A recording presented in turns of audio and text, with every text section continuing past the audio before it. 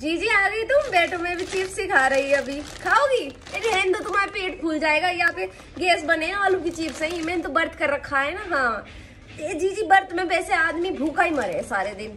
तो करने तो पड़े हैं अब देखो भगवान का नाम भी लेना पड़े पर वही है ना अब आदमी कुछ कुछ तो खाता रहे ऐसे तो ना कटे। अब मैंने देखो मैंने आज बर्थ कर रखा है मैं सुबह उठते ही पहले लिया चाय का कप। मैंने कही चाय थे थोड़े ठीक रहे वे काल जे, ना तो काल जब बाहर आ जावे सुबह भूखते उसके बाद मैंने चाय के साथ ली आलू की चिप्स, ये व्रत में खा सके हैं। मैंने पूछी पंडित से। पंडित जी ने कही हाँ ये व्रत में खा सके हैं। फिर अभी मैंने उसे लाली से कही, मैंने कहा, सामा किया चढ़ा दे। हम्म दोपहर में क्या खाऊँगी मैं? जी, भूखा थोड़ी मरेगा आदमी व्रत कर रखा है तो। अब रात को मैं साबुदाने खिचड़ी बनाऊँगी जी। तो थोड़े से वो तल लिए हैं बर्त में खाने के और केले मंगा लिए। मैंने पापा इसके पापा कह के मैंने कही देखो तुम किसी काम के ना हो मैं कुछ कर रही हूँ तो वहाँ में मेरे सरपत कर दो।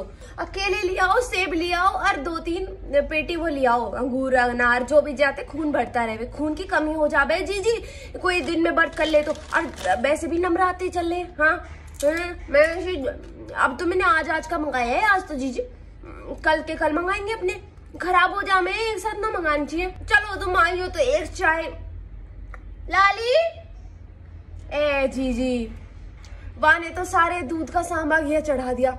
मैं तो भूल ही गई, तुम आओगी चाय बनानी होगी। जी जी, माफ़ कर दो। तुम ऐसे करो, तुम भी आज व्रत कर लो।